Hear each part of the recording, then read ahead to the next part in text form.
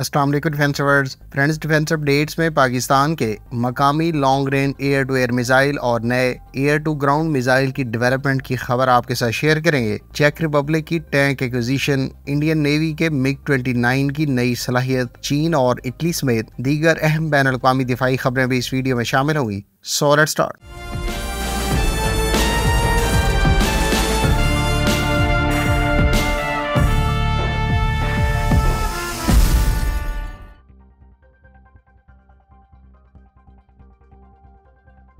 Friends, Pakistan की global industrial and defence solutions, Faaz two के नाम से long range BVR air to air missile develop कर रही है। कंपनी की जानब से जारी करदा तफसीत के मुताबिक, Faaz two air to air missile की रेंज 180 किलोमीटर होगी और ये मार्क 3.5 की स्पीड से फ्लाई कर सकेगा। इस मिसाइल पर दो डिफरेंट टाइप्स के सीकर का इस्तेमाल किया जाएगा, जबकि इस मिसाइल को लॉन्ग रेंजेस पर न सिर्फ़ एयरक्राफ्ट बल्कि यूएवीज और हेलीकॉप्टर्स के खिलाफ भी इस्तेमाल में लाया जा सकेगा। मीडिया रिपोर्ट्स के मुताबिक मुताबिक, इससे पहले पाकिस्तान ने फाज वन के नाम से भी एक BVR air to air missile develop और जे एफ़ सेवनटीन थंडर के साथ इंटीग्रेट किया था। ताहम, इस मिसाइल की मैस प्रोडक्शन शुरू नहीं की गई थी और इसकी बुनियादी वजह फ्यूचर में long range air to air missile की डेवलपमेंट थी। ख्याल रहे कि पाकिस्तान एयरफोर्स पहले ही अमरीकी साख्ता A I M one twenty C five air to air missile को अपने फ्लीट पर एफ़ सिक्सटीन पर इस्तेमाल करती है, जिसकी मैक्सिमम रेंज 120 किलोमीटर बताई जाती है। इसके अलावा चाइनीज़ साख्ता एस जी टेन तकरीबन हंड्रेड किलोमीटर की रेंज के साथ पाक फिजाइया के जे टेन और जे एफ़ सेवनटीन थंडर तैयारों पर इस्तेमाल किया जा सकता है। हालिया दिनों में पाकिस्तान एयरफोर्स की जानब से जे टेन सी तैयारों की एक्विजिशन और J F seventeen thunder block three की डेवलपमेंट के बाद चीन से P L fifteen air to air missile भी अक्वायर किए गए हैं। तहम माहरीन के मुताबिक फाज टू एक नया मिसाइल है जिसको मकामी सतह पर ही डिज़ाइन और डेवलप किया जाना है।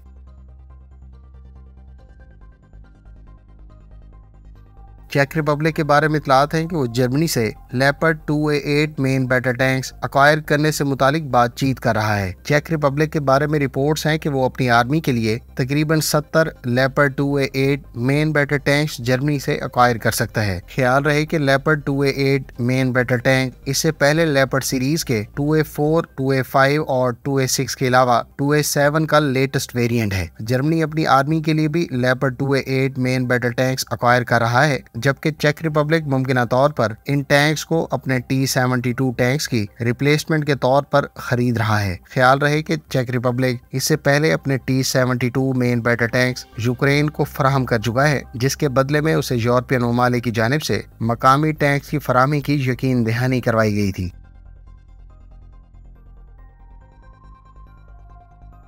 फ्रेंड्स इटालियन कंपनी लिनार्डो ने तस्दीक की है कि वो A T R seventy two पर बेस्ड दो maritime patrol aircraft Malaysia को फरोख्त करेगी। कंपनी की जानब से जारी करदा प्रेस रिलीज़ के मुताबिक दोनों मालिक के दरमियान दो A T R seventy two maritime patrol aircraft से मुतालिक डील पहले ही तय पा चुकी है। Friends A T R seventy two maritime patrol aircraft इस वक्त कई ममालिक की आर्म फोर्सेज की सर्विस में मौजूद है। इस एयरक्राफ्ट को maritime patrolling electronic intelligence gathering sea surface और और सबमर्ज टारगेट डिटेक्शन और ट्रैकिंग के लिए इस्तेमाल में लाया जा सकता है। कंपनी की जानब से इसको एंटी सबमरीन वारफेयर टॉर्पीडो से इक्विप किया गया है। ख्याल रहे कि पाकिस्तान नेवी भी A T R seventy two पर based maritime patrol aircraft पहले ही अपनी सर्विस में इस्तेमाल कर रही है, जिसको German company rand land service से मैरी टाइम पेट्रोलिंग कन्फिग्रेशन में कन्वर्ट करवाया गया था। A T R seventy two Turkish navy की सर्विस में भी मौजूद है, जबकि टर्किश एयरफोर्स और लिनार्डो के दरमियान तय पाने वाली डील के तहत तुर्की अब मकामी सतह पर इन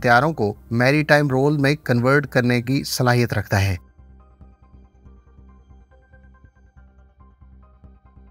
फ्रेंड्स, इंडियन नेवी की सर्विस में मौजूद मिग 29 के तैयारों ने पहली मरतबा आईएनएस विक्रांत कैरियर पर नाइट लैंडिंग का कामयाब मुजाहरा किया है। हुकाम का कहना है कि ये पहली मरतबा है कि इंडियन मिग 29 के तैयारों ने नाइट टाइम ऑपरेशंस के दौरान आईएनएस विक्रांत कैरियर पर लैंड और टेक ऑफ़ किया है। ख्याल रहे की इंडियन नेवी तकरीबन ट्वेल्व मिग ट्वेंटी के तैयारे आई विक्रांत कैरियर पर इस्तेमाल करने का मनसूबा रखती है। फ्यूचर में इन तैयारों को twin engine deck based fighter aircraft से रिप्लेस किया जाएगा जबकि इंडियन हुकाम का दावा है कि twin engine deck base fighter का पहला प्रोटोटाइप 2026 में फ़र्स्ट फ़्लाइट लेगा और इस तैयारे की मैस प्रोडक्शन 2031 में शुरू होगी। ख्याल रहे कि इंडियन नेवी पहले ही मुमकिन तौर पर French Rafale M fighter aircraft का इंतखाब कर चुकी है, जिसे I N S Vikrant aircraft carrier के लिए अक्वायर किया जाएगा। इन तैयारों का इंतखाब मद मुकाबल अमरीकी एफ़ एटीन सुपर हॉर्नेट तैयारों की जगह किया गया है। इंडियन नेवी की जानब से तकरीबन 26 नए Rafale M fighter jets acquire किए जाएँगे।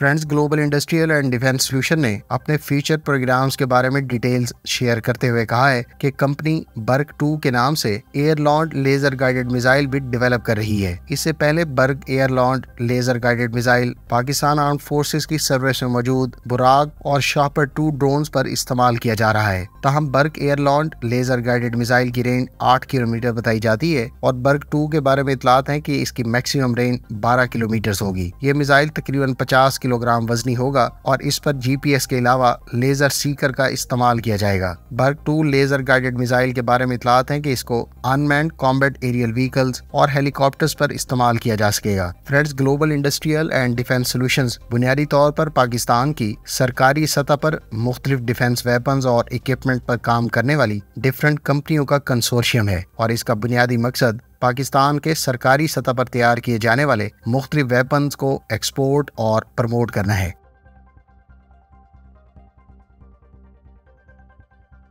तुर्क मीडिया सोर्सेज का कहना है कि नेवल फोर्सेस कमांड को मजीद नौ जाहा व्हीकल्स डिलीवर कर दी गई है। नेवल फोर्सेस कमांड की इंफीबियस आर्मर्ड व्हीकल रिक्वायरमेंट्स के पेश नज़र मजीद नौ जाहा व्हीकल्स को एफ़ एन एस एस की जानब से मेन कॉन्ट्रैक्टर के तौर पर गुजशत दिनों टर्किश नेवी के हवाले किया गया है। एफ़ एन एस एस की जानब से लीड किए जाने वाले इस प्रोजेक्ट के तहत टोटल सताईस व्हीकल्स टर्किश नेवी के हवाले की जानी है, जिसमें से तेईस पर्सनल कैरियर और दो कमांड एंड कंट्रोल के अलावा दो रेस्क्यू व्हीकल व्हीकल्स शामिल हैं। इन व्हीकल्स पर 40 मिलीमीटर के गनरेड लॉन्चर्स के अलावा 12.7 मिलीमीटर की मशीन गन का इस्तेमाल किया जा रहा है। एफएनएसएस की जानब से इन व्हीकल को एक्सपोर्ट कस्टमर्स के लिए भी मुख्तलिफ़ मौकों पर ऑफ़र किया गया है, जबकि एक और टर्किश कंपनी की जानब से तैयार करदा 40 मिलीमीटर के ऑटोमेटिक गनरेड लॉन्चर्स और 12.7 मिलीमीटर की मशीन गन के बदौलत इस व्हीकल को कॉम्बेट सलाहियत भी हासिल हुई है।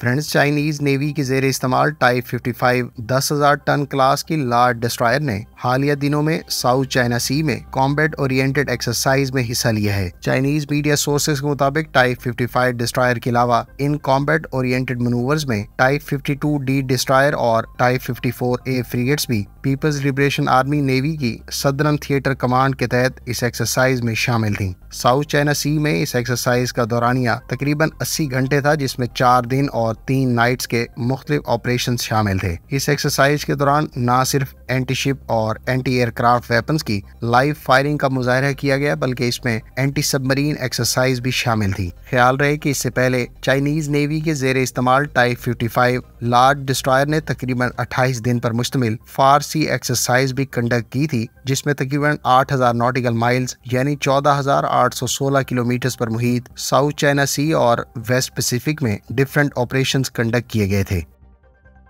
फ्रेंड्स ये थी आज की डिफेंस अपडेट्स उम्मीद है इस वीडियो से आपकी मालूम में इजाफा होगा। मिलते हैं नेक्स्ट वीडियो के साथ। अपनी दो में याद रखिएगा। अल्लाह हाफिज। पाकिस्तान जिंदाबाद।